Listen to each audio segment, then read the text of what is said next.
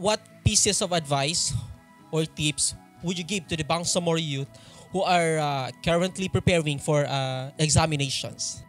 One thing that I could advise to the Bangsamoro youth, especially those who are preparing for the, their different board exams, no, uh, one thing that I could advise for them is to never settle for less talaga, no. Do not just think of passing the the board exam. Always think of topping the board exam. Correct. Ganyan ang mantra ng kone ng CBRC, no? Hindi dapat na, makapasa lang, kailangan mag-top. Kasi kapag naka nag, ang inisip mo makapasa ah, maka-top ka, pag nag-fail ka, ibig sabihin ang maglalan ka sa passer or ganun.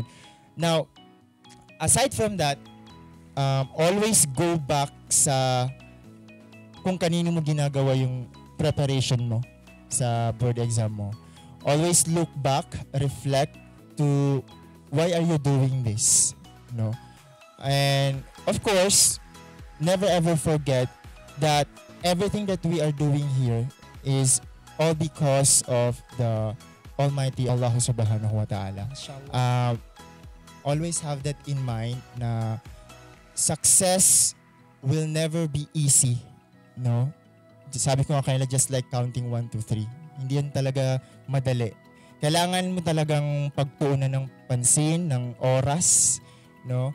Uh, always have that goal in mind. Always be goal-driven talaga. Kung if you have that goal, you will be directed to being successful. No?